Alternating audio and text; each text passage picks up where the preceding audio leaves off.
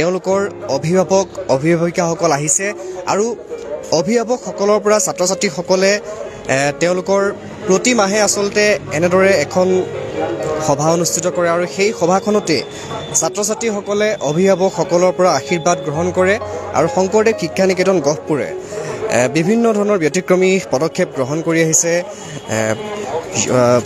ৰাতিপুৱা পাঁচ বজাৰ লগে লগে য়োগা হওক তাৰ পৰৱৰ্তী পৰ্যায়ত তেওঁলোকৰ পাঠ্যক্ৰমৰ পিছত ইয়াত বিভিন্ন ধৰণৰ নাৰী সুৰক্ষাৰ কাৰণে মাৰ্চেল আৰ্টৰ প্ৰশিক্ষণ প্ৰদান কৰা হয়। তাৰ পিছতে সন্ধিয়া তেওঁলোকে নামঘৰত এনেদৰে ইয়াত নামঘৰ আছে আৰু নামঘৰত সন্ধিয়া সময় পাঁচ বজাৰ লগে লগে তেওঁলোকে প্ৰাৰ্থনা কৰে আৰু প্ৰতিমাহে আচলতে অভিভাৱকসকলৰ সৈতে এখনি সভা অনুষ্ঠিত হয় আৰু এনেদৰে ইয়াৰ প্ৰাংগণত অভিভাৱকৰ পৰা ছাত্ৰ ছাত্ৰীসকলে এনেদৰে আশীৰ্বাদ গ্ৰহণ কৰে প্ৰত্যেকটো মাহতে আৰু আজি শংকৰদেৱ শিক্ষা নিকেতন গহপুৰৰ বিদ্যালয় সপ্তাহৰ তৃতীয় দিনৰ কাৰ্যসূচী আৰু কিছু সময়ৰ পিছতে তিনি বজাৰ লগে লগে মূল সভা অনুষ্ঠিত হ'ব আৰু ইতিমধ্যেই ছাত্ৰ ছাত্ৰীসকলৰ সৈতে অভিভাৱকৰ যিটো সেৱা কৰাৰ নিয়ম সেয়া আমি আপোনালোকক দেখুৱাইছোঁ। লাইভ ছেভেন ছিষ্টাৰ্ছৰ জৰিয়তে আপোনালোকক সমগ্ৰ অসমবাসী ৰাইজক আমি দেখুৱাই আছোঁ আমি সম্পন্ন কৰিম। এতিয়া এয়া হৈছে শংকৰদেৱ শিক্ষা নিকেতন গহপুৰৰ প্ৰাংগণ আৰু ছাত্ৰ ছাত্ৰীসকলৰ সন্মুখত এনেদৰে তেওঁলোকৰ নিজা অভিভাৱকসকল ৰৈছে।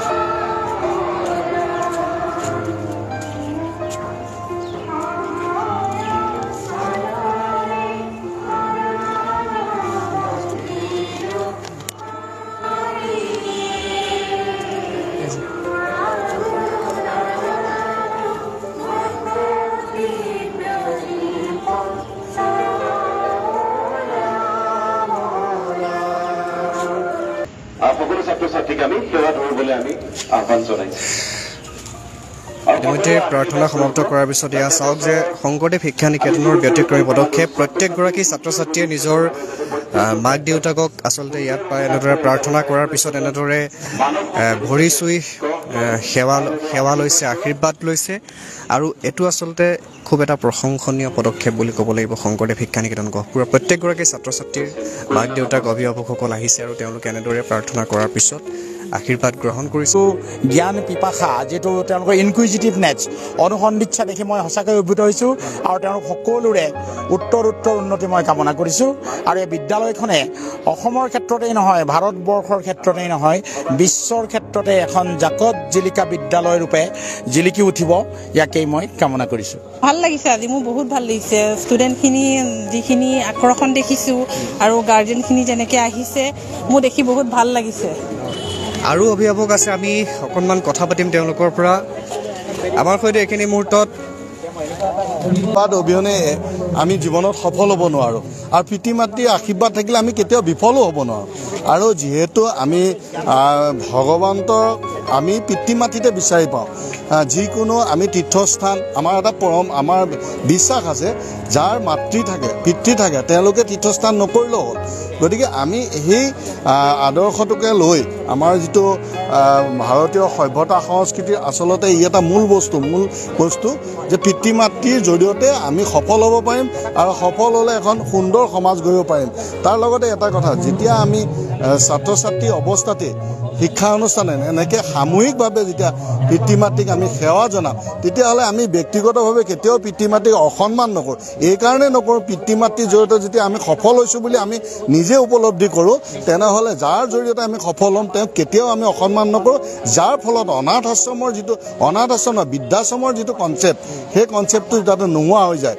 আমি যেতিয়া অনুভৱ কৰিম যে পিতৃ মাতৃ আমি সৰ্বস্ব তেতিয়া আৰু আমি পিতৃ মাতৃক কেতিয়াও বৃদ্ধাশ্ৰমত থ'ব যাতে নহয়। সেই কথাটোৱে আমাৰ স্কুলে সেই ধৰণৰ এটা সিদ্ধান্ত লৈছে আৰু সেই ধৰণে ছাত্ৰ ছাত্ৰীক তেনেধৰণৰ ভাবিবলৈ শিকোৱা হৈছে। নিশ্চিতভাৱে সংকটৰ ওপৰত গুৰুত্ব দিবই লাগিব। আজিৰ যি চাম হৈছে সেই চামক ডমিনেট কৰিবৰ কাৰণে এনেকুৱা আধ্যাত্মিক চিন্তাধাৰাটো আমি বহুত লেখত ল'বলগীয়া হৈছে আৰু উত্তৰ অসমৰ যিটো শিক্ষাৰ ওপৰত যিটো আমাৰ গোস্বামী পৰিয়াল বুলিয়ে কৈছোঁ এই গোস্বামী পৰিয়ালে যিটো আগৰণুৱা হেৰি লৈছে আমি বহুত সুখী। আপোনাৰ সন্তানে ইয়াত কিহত পঢ়ি আছে ল'ৰা? এই মই এই আজি নাইনত এডমিশ্যন হৈছে আৰু এই মোৰ মোৰ চিন্তাধাৰাটো কি নলেজ ইজ এ পাৱাৰ শিক্ষাই এটা শক্তি যি শক্তিয়ে মানুহক মানুহ হিচাপে গঢ় কৰিব পাৰে সেই গঢ় কৰাৰ যিটো চিন্তা পিতৃ মাতৃক আমি ভগৱান হিচাপে মানো। যিহেতু পিতৃ মাতৃৰ আশীৰ্বাদ অবিহনে আচলতে যিটো আধ্যাত্মিক চিন্তা চৰ্চা আৰু মানুহৰ মানৱ সম্পদ হিচাপে আচলতে সমাজখনৰ প্ৰতি যিটো দায়বদ্ধতা আচলতে পিতৃ মাতৃৰ প্ৰতি যাৰ ভক্তি নাই আচলতে গোটেই সমাজখনৰ প্ৰতি তেওঁৰ ভক্তি নাথাকে। গতিকে আমি আশা ৰাখিছোঁ শংকৰদেৱ শিক্ষা নিকেতন গহপুৰে এটা প্ৰয়াস অব্যাহত ৰাখিছোঁ যাতে সকলো ছাত্ৰ ছাত্ৰীয়ে পিতৃ মাতৃৰ প্ৰতি শ্ৰদ্ধা ভক্তি থাকে আৰু এই শ্ৰদ্ধা ভক্তিয়ে তেওঁলোকৰ শিক্ষাগত শিক্ষাৰ দিশত যথেষ্ট সহায় কৰিব। কাৰণ এজন প্ৰকৃত মানৱ সম্পদ হিচাপে গঢ় দিবৰ বাবে অকল অকল কাৰিকুলামৰ ভিতৰতে থাকিলে নহ'ব যে তেওঁলোকে এটা physics chemistry maths biology English Assamese পঢ়িলে নহ'ব যে সামাজিকভাৱে এজন দায়বদ্ধ ব্যক্তি হিচাপে তেওঁলোকে প্ৰতিষ্ঠা হ'বলৈ হ'লে যিটো অলৰাউণ্ড ডেভেলপমেণ্ট বুলি কওঁ যিটো সৰ্বাংগীন উন্নতি বুলি কওঁ সৰ্বাংগীন উন্নতি যথেষ্ট প্ৰয়োজন। গতিকে তাত আধ্যাত্মিক বৌদ্ধিক বৌদ্ধিক আৰু শাৰীৰিক গোটেইকেইটা দিশ লাগিব। আৰু আধ্যাত্মিক দিশৰ এটা পাৰ্ট যে আমাৰ প্ৰত্যেকটো অভিভাৱক সন্মিলনত আমাৰ ছাত্ৰ ছাত্ৰীসকলক আমি অভিভাৱকক সেৱা জনা জনোৱাৰ এই কাৰ্যসূচী আধ্যাত্মিক দিশৰ উন্নতিৰ হকে আমি এই কাৰ্যসূচী সদায় অব্যাহত ৰাখিছোঁ। নিশ্চিতভাৱে শংকৰদেৱ শিক্ষা নিকেতন গহপুৰৰ এটা প্ৰশংসনীয় পদক্ষেপ বুলি ক'ব লাগিব যে তেওঁলোকে ইতিমধ্যে বহুকেইটা দিশত গুৰুত্ব আৰোপ কৰি ছাত্ৰ ছাত্ৰীসকলৰ সৰ্বাংগীন উন্নতিৰ প্ৰতি লক্ষ্য ৰাখে। আৰু ইয়াত আচলতে আজি প্ৰতিগৰাকী ছাত্ৰ ছাত্ৰীৰে অভিভাৱক অভিভাৱিকাসকল আহিছে আৰু আজি কেৱল আজিয়ে নহয় এনেদৰে তেওঁলোকে প্ৰত্যেক মাহে এই অভিভাৱক সন্মিলন অভিভাৱকক সেৱা কৰাৰ যিটো প্ৰৱণতা সেয়া গ্ৰহণ কৰি আছে ছাত্ৰ ছাত্ৰীসকল আছে। যোৱা বছৰত মোৰ ল'ৰা ইয়াত এডমিশ্যন লৈছিলে এইবাৰ টুৱেলভৰ আৰু ছোৱালী এতিয়া এইবছৰ এডমিশ্যন লৈছে। ল'ৰা ছায়েন্সৰ ছোৱালী আৰ্টছৰ এটা সুন্দৰ পৰিৱেশ ভাল লাগে। মানে অন্য বিদ্যালয়তকৈ এইটো এটা অলপ বেলেগ ধৰণৰ ইয়াত বৌদ্ধিক বিকাশ মানে আজিকালি আচলতে সন্তানৰ মাজত এই পৰিৱেশটো দেখা নাপায়। এতিয়া ইয়াত বিদ্যালয়ত যেতিয়া এই পৰিৱেশটো আৰম্ভ কৰিছে এইটো এটা খুবেই সুন্দৰ পৰিৱেশ আৰু আগলৈকো যেনে এনেকুৱা এটা পৰিৱেশ মানে থাকে আমি তাৰেই কামনা কৰিছোঁ আৰু বিদ্যালয়খনৰ উজ্জ্বল ভৱিষ্যত কামনা কৰিছোঁ। পদ্ধতি আছিলে। সেই পদ্ধতি গুৰু শিষ্যৰ যিটো সম্বন্ধ লগে লগে অভিভাৱকসকলে সাধাৰণতে তেতিয়া আশ্ৰম যিটো আশ্ৰমত গৈ পেলাই আচলতে তেওঁলোক থাকে। গতিকে আশ্ৰমত থাকে আৰু এতিয়া আশ্ৰমত থাকি কৰে। গতিকে আচলতে গোটেই কথাটো হৈছে শ্ৰদ্ধা। যিকোনো যিকোনো বিষয় লাভ কৰিবলৈ হ'লে জ্ঞান লাভ কৰিবলৈ য'ত শ্ৰদ্ধা নাথাকে তাত কিন্তু কোনো ক্ষেত্ৰতে কোনেও একো পাব নোৱাৰে। গতিকে সেই শ্ৰদ্ধাৰ ক্ষেত্ৰত এই গুৰু শিষ্যৰ আৰু পিতৃ মাতৃক কেনেধৰণে শ্ৰদ্ধা কৰিব লাগে এই কথাটো যদি ভালকৈ ল'ৰা ছোৱালীক শিকোৱা নাযায় আচলতে আজি আমাৰ যিটো আমি নৱপ্ৰজন্মৰ সম্পৰ্কত কৈ থাকোঁ যে আজিকালি নৱপ্ৰজন্ম এনেধৰণে বিচলিত হৈছে বেয়া ধৰণে গৈছে তাৰ কাৰণে নৱপ্ৰজন্ম দোষী নহয়। নৱপ্ৰজন্মক আমি সৰুৰ পৰা কেনেধৰণে শিক্ষা দিছোঁ কেনেধৰণৰ পৰিৱেশ দিছোঁ তাৰ ওপৰতে আচলতে সেই সিহঁতৰ ভৱিষ্যত নিৰ্ভৰ কৰে। গতিকে যেনেকৈ এজন কুমলীয়া বাঁহ আমি ভাজ দিবলৈ সহজ কিন্তু বুঢ়া বাঁহ আমি ভাজ দিব নোৱাৰোঁ। ঠিক ধৰণে ইয়াত কুমলীয়া বাঁহক এতিয়াই ভাজ দিবলৈ চেষ্টা কৰিছে। আৰু নিশ্চয় এটা এনেকুৱা এটা প্ৰজন্ম এটা সময়ত আমাৰ এই গহপুৰীয়া ৰাইজে পাব যি প্ৰজন্মই আচলতে গহপুৰক দাঙি ধৰিব আৰু সেই গহপুৰক দাঙি ধৰাৰ লগে লগে অসমকো দাঙি ধৰিব আৰু সি এদিন ইতিহাস হ'ব আৰু যাক ভাৰতবৰ্ষই ক'ব লাগিব যে অসমত এতিয়াও সেই পৌৰাণিক শিক্ষা পদ্ধতিৰ এক সুন্দৰ পৰম্পৰা এতিয়াও চলি আছে। আচলতে আজিৰ এই মূল সভাখনিলৈ বিভিন্ন বিভিন্ন বিভাগৰ আচলতে কবি সাহিত্যিক তাৰ লগতে বিভিন্ন কলেজৰ আমাৰ সৈতে এইখিনি মুহূৰ্তত এগৰাকী ব্যক্তি আছে কবি সাংঘাতিক সপোন। দেই যে যাতে মানে অলপ আগতে আমাৰ শিৱৰঞ্জন মহন প্ৰধানে যিটো ক'লে আমি দুখী থাকোঁ নৱ প্ৰজন্মক সেইটো নহয়। আমি আচলতে কাম কৰি দেখুৱাব লাগিব শিকাব লাগিব। গতিকে আজি তেনেধৰণৰ এটা প্ৰচেষ্টা চলোৱা হৈছে যাতে এটা আধ্যাত্মিক পৰিৱেশ লৈ তাৰ লগে লগে প্ৰযুক্তি আধুনিক শিক্ষা সমস্ত শিক্ষা জ্ঞান সকলোতে যাতে তেওঁলোক পাৰ্গত হৈ উঠিব পাৰে। আৰু নিজৰ জীৱিকাৰ লগতে জীৱিকাটো হ'বই তাৰ লগে লগে জীৱনটো ভাল কৰিবৰ কাৰণে। এজন ভাল মানুহ হ'বৰ কাৰণে যিবোৰ শিক্ষা লাগে যিবোৰ আমি আচৰণ কৰিব লাগে সেইবিলাককো আমি শিক্ষা ইয়াত দিয়া সংকল্প লোৱা হৈছে। আৰু গতিকে মই খুবেই আনন্দিত আৰু আশা কৰোঁ আমাৰ এই সপোন সফল হ'ব।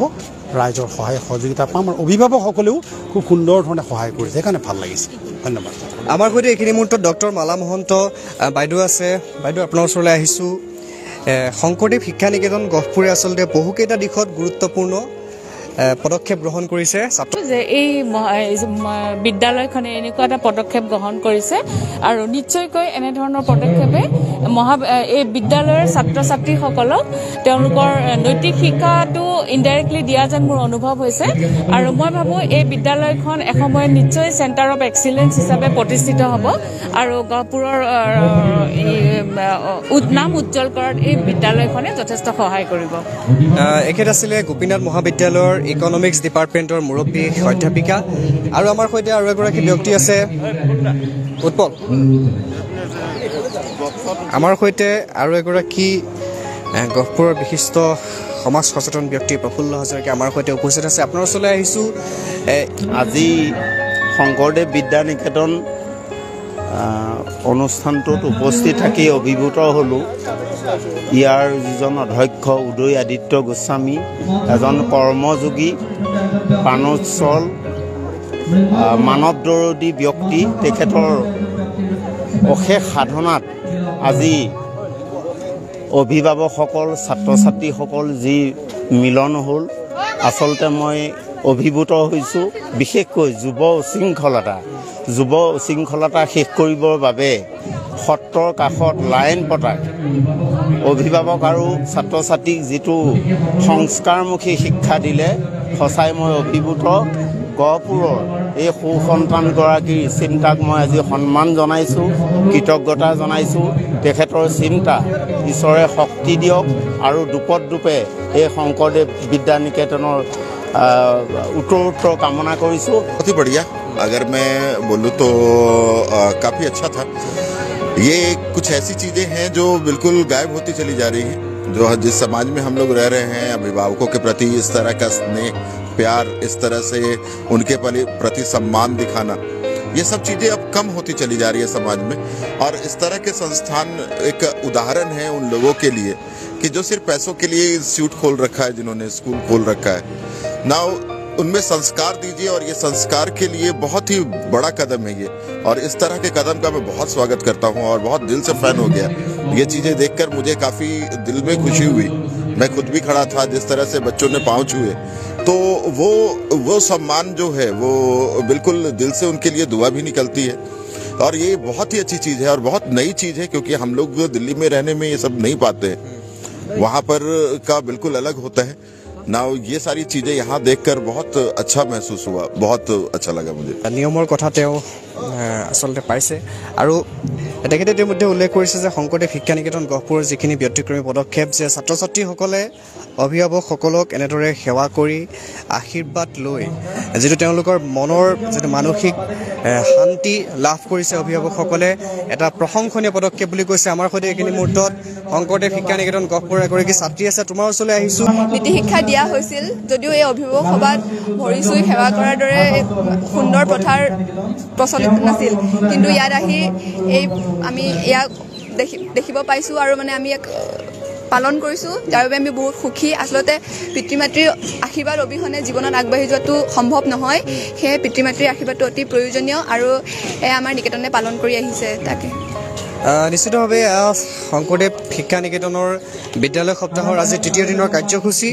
ইতিমধ্যে অভিভাৱকসকলৰ সৈতে ছাত্ৰ ছাত্ৰীসকলৰ সেই যিটো বিশেষ পদক্ষেপ বিশেষ নিয়ম ইতিমধ্যে অনুষ্ঠিত হৈ গ'ল আৰু ইয়াৰ পিছতে তিনি বজাৰ লগে লগে মূল সভা অনুষ্ঠিত হ'ব। ইতিমধ্যে প্ৰস্তুতি চলি আছে আৰু ঠিক তিনি বজাৰ লগে লগে আজিৰ যিখন মূল সভা সেই মূল সভা অনুষ্ঠিত হ'ব আৰু ইয়াৰ পূৰ্বে ছাত্ৰ ছাত্ৰীসকলৰ তেওঁলোকৰ প্ৰতিভা বিকাশৰ কাৰণে গীত নৃত্য তেওঁলোকে কম্পিটিশ্যন কৰিলে। আমাৰ সৈতে এগৰাকী ইয়াৰ ছাত্ৰ আছে তোমাৰ ওচৰলৈ আহিছোঁ। তোমাৰ নামটো কি আৰু কিহত পঢ়ি দেখাব পাৰিছোঁ চিনাকি হ'ব পাৰিছোঁ। এয়া ছাত্ৰ ছাত্ৰীসকলে তেওঁলোকৰ মন্তব্য প্ৰকাশ কৰিলে। আমাৰ সৈতে শংকৰদেৱ শিক্ষা নিকেতন গহপুৰৰ ছাত্ৰ ছাত্ৰীসকল আছে ছাত্ৰীসকল আছে। তোমালোকৰ ওচৰলৈ ক্লাছ টুৱেলভত পঢ়োঁ। আজি মোৰ বহুত বেছি ভাল লাগিছে যে আমাৰ স্কুলত এনে এটা অনুষ্ঠান আয়োজন কৰিছে য'তে আমাৰ পেৰেণ্টছবোৰ আহিছে আমি সিহঁতক সেৱা কৰিছোঁ। এটা আমাৰ যিটো সংস্কৃতি আছিলে যোনে পাহৰি গৈছিলোঁ যে আমাৰ যে পেৰেণ্টছৰ আশীৰ্বাদটো আমাৰ কাৰণে কিমান বেছি মূল্যৱান। আজি আমি এইটো মূল্যটো বুজি পাইছোঁ ইয়াত আহি পেলাই। আৰু বহুত বেছি ভাল এটা পৰিৱেশটো সৃষ্টি হৈছে। বহুত ভাল লাগিছে। তোমাৰ নামটো কি? ইয়াত ক'ত পঢ়ি আছা আৰু ঘৰ ক'ত ইয়াত কেনেকুৱা লাগে মই শংকৰদেৱ শিক্ষা নিকেতনৰ ছাত্ৰী মই ক্লাছ টুৱেলভত পঢ়োঁ। আৰু ইয়াত বহুত ভাল লাগিছে যে মানে ইমান ধুনীয়াকৈ পাতিছে ইয়াত আৰু মা দেউতাহঁত আহিছে সেইকাৰণে বহুত ভাল লাগিছে চবেই মা দেউতা আশীষ লৈছে। বহুত ভাল পাইছে কংকনা হাজৰিকা মোৰ ঘৰ বৰঙাবাৰীত ইয়াত যথেষ্ট ভাল লাগে পঢ়ি পেলাই আৰু মানে পৰিৱেশটো বহুত বেছি ভাল। ইয়াত আজি মা দেউতাহঁতক মানে কোনো কলেজত তেনেকৈ সেৱা কৰা নহয়। ইয়াত তেনেকৈ শিক্ষা দিয়া হৈছে যে সেৱা কৰিলে মা দেউতাহঁতৰ গুৰুত্ব কমি গৈছে। কিন্তু হ'লেও ইয়াত মানে চবকে সেৱা কৰা বা সন্মান কৰাটো শিকোৱা মই মোৰ নাম জেচমিন গগৈ। মোৰ ঘৰ ধলপুৰ শিমলুগুৰিত। মই একাদশ মানৰ ছাত্ৰী। ইয়াত আমি ভলেণ্টিয়াৰ ৰূপত বহুত ভাল লাগিছে। যিহেতু বহুত চিজিল হৈছে কামখিনি ভলেণ্টিয়াৰ হোৱাৰ কাৰণে। আৰু আমাৰ ক্ৰীড়া সপ্তাহো আজি সামৰণি হ'ব।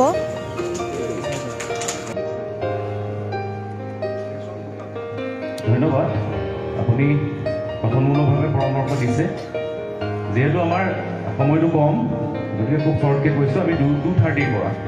আমাৰ যিহেতু মৰ্ণিং এইট থাৰ্টিৰ পৰা ক্লাছটো ষ্টাৰ্ট হয় আমাৰ ওৱান থাৰ্টিত ক্লাছটো শেষ হয় ফৰ্মেল ক্লাছ টু থাৰ্টিৰ পৰা ষ্টাৰ্ট হয় আমাৰ দুটা ছেশ্যন থাকে two thirty two three fifteen আৰু থ্ৰী ফিফটিন টু ফ'ৰ আমাৰ যিহেতু থ্ৰী ফিফটিনৰ পৰা ফ'ৰলৈ আমি ৰিমিডিয়েল ছেশ্যনটো ৰাখিছোঁ তাৰ আগৰ ছেশ্যনটো ফৰ্মেল ক্লাছ দিছোঁ সেইকাৰণে যিহেতু আমাৰ ক'ভিডৰ পৰিস্থিতিটো খুব ঠিক ঠাক হৈ থকা নাই যিহেতু আমাৰ ক্লাছ ইলেভেনৰ চিলেবাছটো যথেষ্ট ডাঙৰ।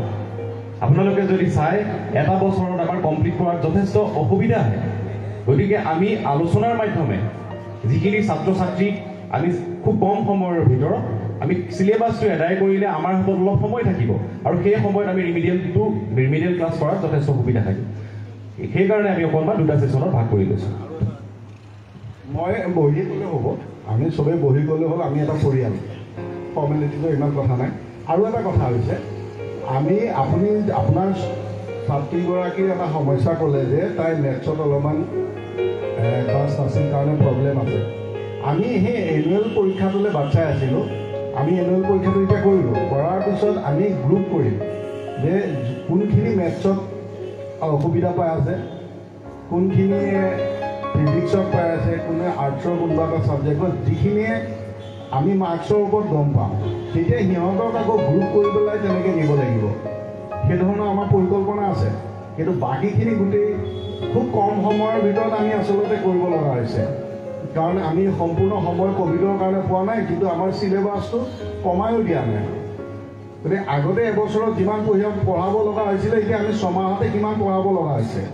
গতিকে আমি কি কৰিছোঁ যিমানখিনি পাৰোঁ চিলেবাছটো শেষ কৰি ল'ব বিচাৰিছোঁ। লগে লগে আমি ৰিমেডিয়েলতো তেওঁলোকক মানে ৰিমেডিয়েলৰ অলপমান সময় আধা সময় আমি কোৰ্চলৈ লৈ গৈছোঁ আৰু বাকীখিনি নিছোঁ তাৰ উপৰিও ষ্টুডেণ্ট ৱাইজ মানে সেইটো আমি ছেগ্ৰিগেট কৰিম গ্ৰুপ কৰিম। গ্ৰুপ কৰিলে তেতিয়া আপোনাৰ ছোৱালীজনীয়ে যেনেকৈ মেথছত নোৱাৰা অন্য কোনোবাই এডভান্স নোলোৱা মেথছত নোৱাৰা থাকিব সেইখিনি আমাৰ পৰিকল্পনা এই পৰীক্ষাটোলৈ আমি ৰখি আছিলোঁ।